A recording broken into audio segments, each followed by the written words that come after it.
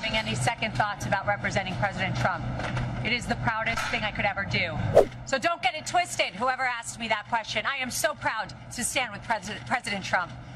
But I am not proud to stand with what I saw in that courtroom.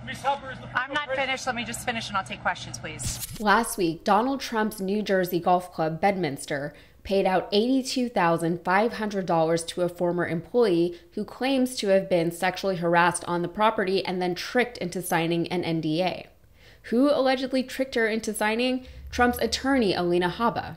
Now it's looking like even after this settlement, Habba herself might get sued in relation to her role. Alice Bianco claims that while she was working at Bedminster, she became friendly with Habba. Habba, however, was always on Team Trump, so when another woman became the victim of sexual harassment, Habba pretended to be her friend and give Bianco legal advice as a friend, while getting her to, quote, quickly agree to unconscionable and illegal terms. Afterward, Habba ghosted Bianco. To clarify, the $82,500 settled a suit in which Bianco claimed that she was wrongfully silenced regarding the allegations of sexual harassment. Habba herself might be getting sued as well for fraud over the questionable NDA and hush money payment that she arranged back in 2021. In the settlement, there's a line that specifically clarifies that Habba is not exonerated for her role. It says, quote, the parties agree that Alina Habba is not a party to this release. So now the NDA is being made null and Habba, a lawyer, is lawyering up. And Bianco has evidence against Habba, evidence supporting the claim that Habba intentionally manipulated Bianco, who was 21 years old at the time, pretending to be her friend and casting doubt on Bianco's lawyer. Text messages from Habba to Bianco from 2021 say, quote, Hi love, it's Alina, wanted to check in on you. That same day, Habba tells Bianco to, quote, be careful with this guy, this guy referring to Bianco's lawyer. Just a few days after that text exchange, the two had several in person meetings. At one such meeting, Habba allegedly told Bianco, quote, You don't want to go public with this. I've been raped. I can help you. I can protect you. The NDA that Habba arranged bought Bianco silence for just $15,000, but it won Habba favor with Trump. Months later, when Bianco tried to follow up with Habba with a question related to taxes on the $15,000, Habba suddenly was unable to give her any legal advice. She said, quote, I can't technically give you legal advice, that's the problem.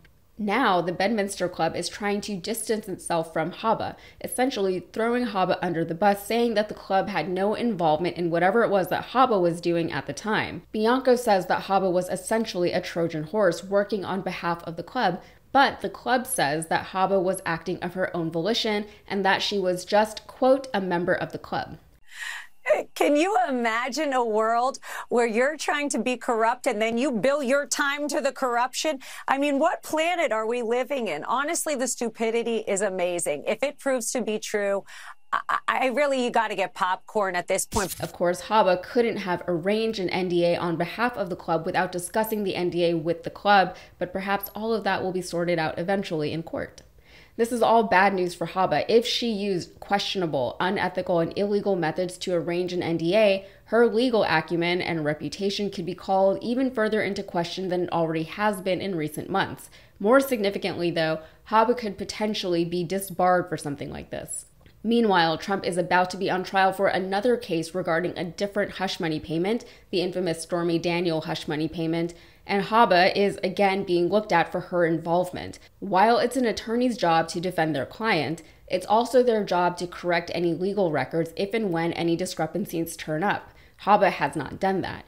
She has potentially indirectly committed perjury by allowing others, like former Trump CFO and accountant Allen Weisselberg, to repeatedly lie under oath. She may not have lied herself, but she allowed others to lie on behalf of her client. All good things to keep an eye out for. Trump isn't expected to win his hush money case in New York, by the way, and he's already lost an appeal in which he was trying to prevent Stormy Daniels and his former fixer, Michael Cohen, from testifying on the stand. Cohen, of course, has already served jail time for facilitating the hush money payment. All right, that's it for me. If you got anything out of this, please like the video, subscribe to the channel, and check out my podcast, Modern Context. New episode is out right now, and we're talking about the potential reunification of Ireland. Thanks.